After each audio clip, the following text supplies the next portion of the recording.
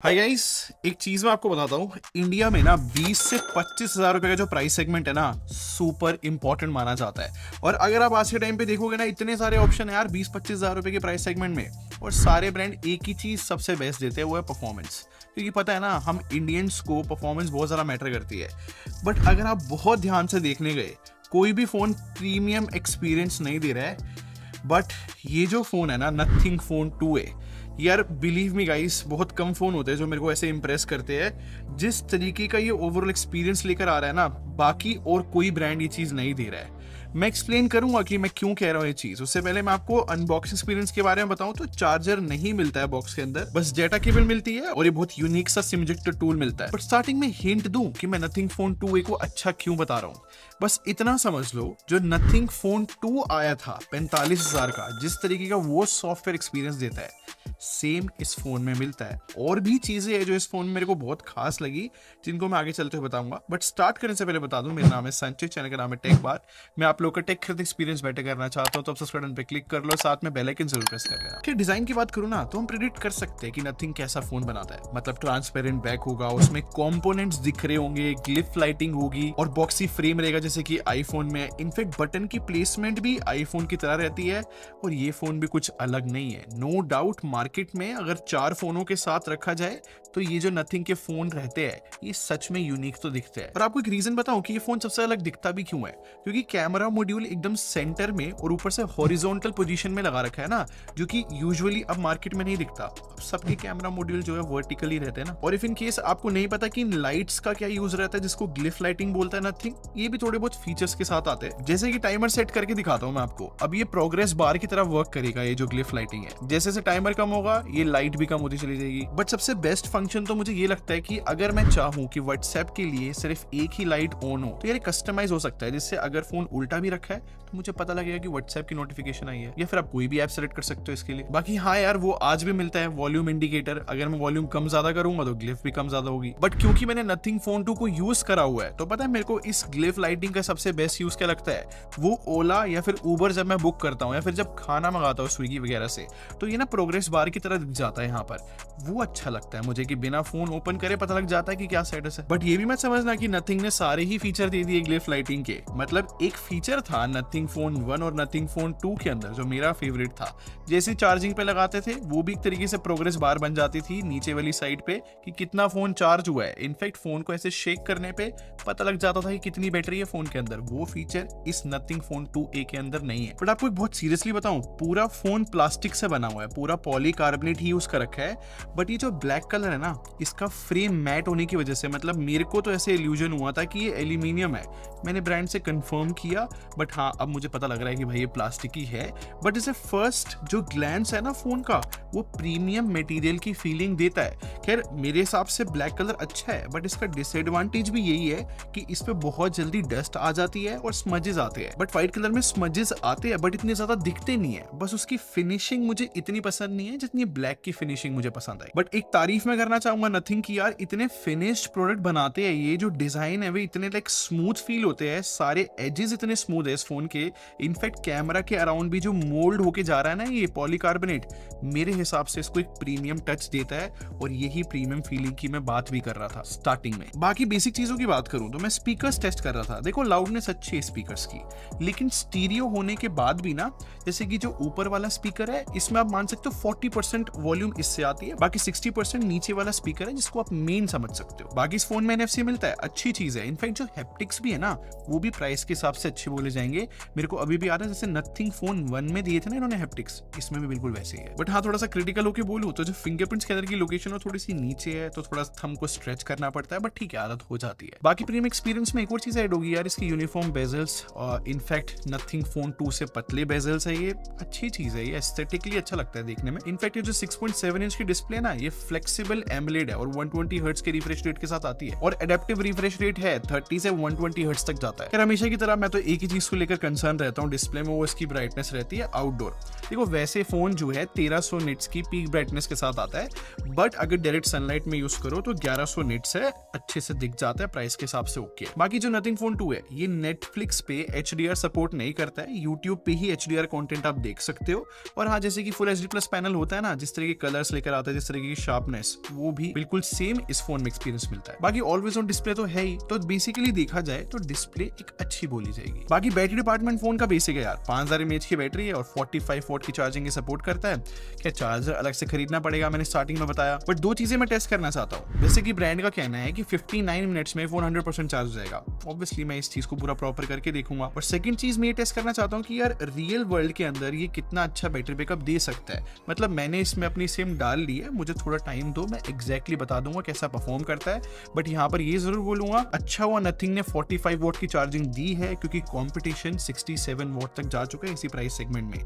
ये हमेशा कम वोट की चार्जिंग देते थे ना? बाकी हाँ कम से मुझे याद आया। परफॉर्मेंस के बारे में बात करूँ जिस तरीके का प्रोसेसर इस फ़ोन में है वो इतना अच्छा परफॉर्म नहीं कर रहा लाइक परफॉर्मेंस कम फील हो रही है। आई मीन इस फ़ोन में ना मीराटेक डेमेंसिटी 7200 प्रो प्रोसेसर है। और जो प्रोसेसर में प्रो लगा हुआ है ना इसका मतलब ये है कि नथिंग ने मीराटेक के साथ कोलेबरेट करके कुछ थोड़ा बहुत कस्टमाइज करा है प्रोसेसर में। और जो मेरा फ़ोन है ना twelve two fifty six GB वाला है इस फ़ोन में जो रैम है वो L P D R four है। और जो स्टोरेज है वो U F S two point two है। आई I मीन mean, जिस तरीके की रैम लगी है और जिस तरीके की स्टोरेज है ये कॉम्पिटिशन के हिसाब से बेस्ट नहीं है। और अगर मैं इस नथिंग फ़ोन टू ए के बेंच के बारे में बात करूँ ना तो मैं रेफरेंस के लिए आईकू Z7 Pro रखना चाहूँगा। इसमें भी सेम प्रोसेसर है। और अब देखो रिजल्ट्स अब यहाँ पर आईकू जो है ना 7.3 लाख का स्कोर ला पा रहा है, जबकि नथिंग जो है 6.8 लाख के अराउंड ही है। और एकदम सेम स्टोरी गीक बेंच की भी है। मल्टी कोर स्कोर देखो, दोनों फ़ोन में डिफरेंस है। आईकू 2700 के अराउंड है। बट जो सीपीयू थ्रॉटलिंग है ना, वो दोनों फ़ोन का सिमिलर ही बोला जाएगा लाइक माइनर डिफरेंस भी नहीं। बट स्टिल पता है बात क्या है? अगर मैं बेंच को ट्रांसलेट करके बताऊँ तो सिंपली एक चीज़ तो कंफर्म हो रही है कि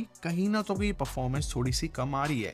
और ये सेम चीज़ मैंने रियल वर्ल्ड में भी देखी है, जब मैं गेमिंग वगैरह कर रहा था। जैसे कि बीजे मैं एग्ज़ाम्पल में देता हूँ। स्मूथ एक्सट्रीम पे गेम प्ले कर रहा था मैं, जो कि 60 एफपीएस की गेमिंग होनी चाहिए थी बट कुछ ही देर बाद नथिंग फ़ोन टू जो है 50 एफ़ पे आ गया। और फिर जब मैंने थोड़ी देर और गेम प्ले करा तो भाई 40 एफ़ पे आ गया था ये फ़ोन जो कि बिल्कुल अच्छा साइन नहीं है। बट वियर्ड और सेम टाइम पे इंटरेस्टिंग बात ये है कि जब इस फ़ोन में मैंने सीओडी खेला, उसमें 90 एफ़ की सेटिंग अवेलेबल थी, और गेम प्ले जो है ना 90 एफपीएस पे आ रहा था, वहाँ पर फ्रेम ड्रॉप्स वगैरह नहीं देखने को मिले। देखो, फ़िलहाल देखा जाए तो बीजेएमआई में देखो परफॉर्मेंस की कमी है। हो सकता है कि नथिंग की वजह से ऑप्टिमाइजेशन ढंग से नहीं हुई हो सॉफ्टवेयर अपडेट आए और ये चीज़ें सॉल्व हो जाए। पर पता है मेजर कंसर्न क्या चल रहा है इंटरनेट पे? जितने भी लेटेस्ट फ़ोन आए हैं ना, उन सब में यूएफएस 3.1 स्टोरेज है।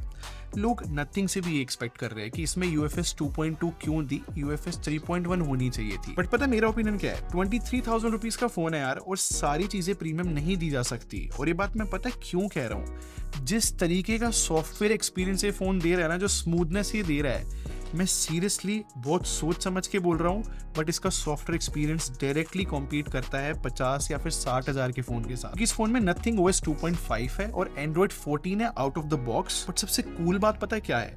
जैसे कि नथिंग फ़ोन 2 के अंदर सॉफ्टवेयर एक्सपीरियंस मिलता है ना एग्जैक्टली सेम बिना कोई कॉम्प्रोमाइज के नथिंग फ़ोन 2A में दिया है। इस फ़ोन में सॉफ्टवेयर का कोई भी फीचर मिसिंग नहीं है। इसमें ब्लोटवेयर नहीं मिलता मतलब ज़्यादा प्री एप्स एड वगैरह नहीं है।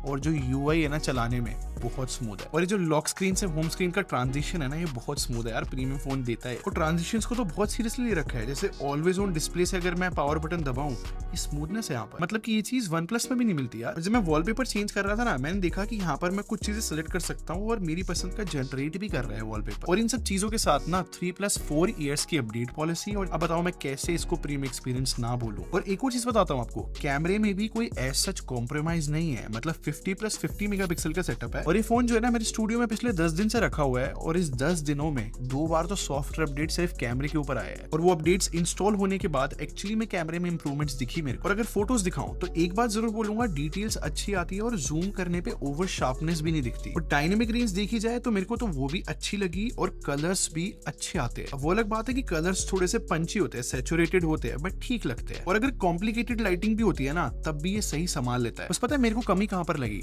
जैसे ही मैं टू पे फ़ोटो खींचता हूँ ना, वहाँ पर ओवर शार्पनेस दिखती है। इनफेक्ट टू जो है ना, ज़्यादा खराब मुझे पोर्ट्रेट मोड में लगता है, क्योंकि यहाँ पर जो ओवर शार्पनेस है ना, वो थोड़ी सी फीक लगती है। और जो कटआउट आता है टू पे, वो इतना अच्छा नहीं रहता। बट इसी का रिवर्स अगर मैं वन पे पोर्ट्रेट मोड वाली फ़ोटोज़ खींचता हूँ ना तो यहाँ पर कटआउट देखो यार कितना सही आता है। इनफेक्ट कलर्स भी अच्छे हैं, ना ही ओवर शार्पनेस दिखती ओवरऑल आउटपुट पोर्ट्रेट मोड का बहुत सही आता है वन बट अगर अल्ट्रा वाइड लेंस की बात करो, देखो 50 मेगापिक्सल होने का फ़ायदा तो है, क्योंकि यहाँ पर डिटेल्स आ रही है एक्चुअली में। और ओवरऑल फ़ोटो देखी जाए तो मेरे हिसाब से वो भी अच्छी बोली जाएगी। बस कलर्स जो है ना, वो बहुत सेचुरेटेड रहते हैं। और अगर सेल्फी की बात करूँ तो 32 मेगापिक्सल का फ्रंट कैमरा इस फ़ोन के अंदर। और अगर अच्छे से लाइट दी फ्रंट कैमरे को तो भाई बहुत अच्छी फ़ोटो आ रही है। मतलब स्किन टोन बहुत कमाल के निकाल लेता है और ओवरऑल डिटेल भी।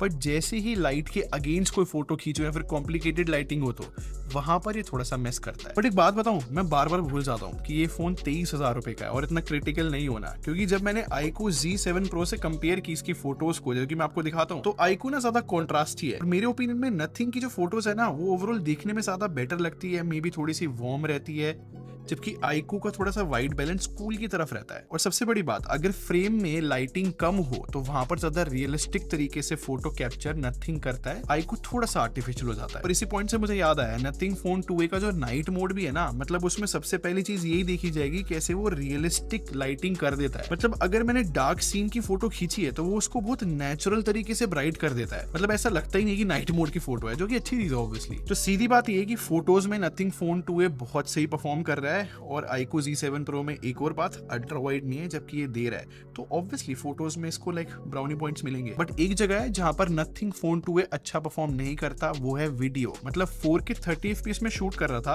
और स्टार्टिंग कुछ सेकंड्स में बहुत सारे फ्रेम ड्रॉप्स कर दिए नथिंग फ़ोन टू ने। और जो ओवरऑल फुटेज भी है, उसमें इतनी बार कलर शिफ्ट आता है एक्सपोजर अप एंड डाउन करता है। इनफेक्ट स्किन टोन भी मैं वियर्ड ही बोलना चाहूँगा। सिंपली मैं बोलूँगा रिज़ल्ट अच्छे नहीं है यार वीडियो के, बस फ़ोटो अच्छी खींचता है फ़ोन तो सारी बातों को समअप करके ना अब बताता हूँ कंक्लूजन देखो, एक चीज़ मैं बहुत क्लियरली समझ चुका हूँ।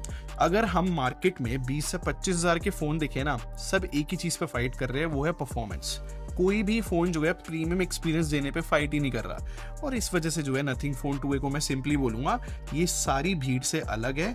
And believe me Nothing phone two a extremely premium software experience देता है और ये इस फ़ोन की बहुत बड़ी हाईलाइट है। तो यहाँ से ना आपके पास दो चॉइस है। अगर आप 20 से पच्चीस हज़ार का फ़ोन ले रहे हो ना, और अगर आपको बेटर स्पेसिफिकेशन या फिर बेटर जो है परफॉर्मेंस चाहिए तो तो कॉम्पिटिशन आप देखो। बट अगर आपको प्रीमियम एक्सपीरियंस चाहिए, जैसे कि डिज़ाइन में डिस्प्ले कैमरा सॉफ्टवेयर तो मेरे हिसाब से नथिंग फ़ोन टू ए आपको हंड्रेड परसेंट चेकआउट करना चाहिए। तो इस फ़ोन के बारे में फ़िलहाल तो मेरा यही ओपिनियन है। बट जैसे कि मैंने बताया, इसमें मैंने सिम डाल ली है। चेक करूँगा थोड़े दिन, पंद्रह दिन के अराउंड में चेक करता हूँ ज़्यादातर फोनों को। तब रिव्यू लेकर आऊँगा, अगर कोई बग दिखता है सॉफ्टवेयर के अंदर या फ़ोन में कोई बड़ी कमी दिखती है तो वो तो नेक्स्ट वीडियो में ही मैं बता पाऊँगा। इतने, आप लोग बताओ ना, आपका क्या ओपिनियन है इस नथिंग फ़ोन टू के बारे में? कमेंट सेक्शन में लिख दो। बाकी अगर स्टिल कंफ्यूजन है आपको कोई भी तो आप मुझे इंस्टाग्राम पर फॉलो कर लो यार, ये मेरा हैंडल है।